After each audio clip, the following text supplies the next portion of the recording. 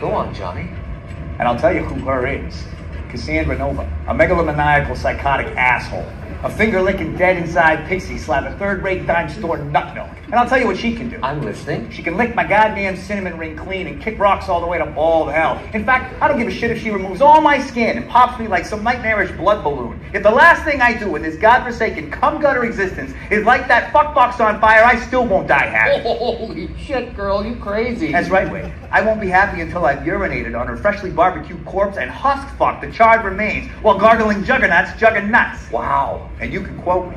You said all that about me. No. No. I don't, I didn't say any of Sticks that. and stones, Johnny! Now let her intimidate you.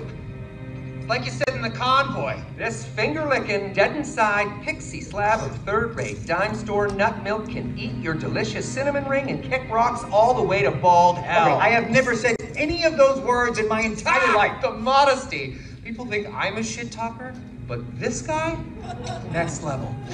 This, I, wait, I don't even know what half of that means. This, I, My hat's off to you, sir. What? Truly. This, I didn't kiss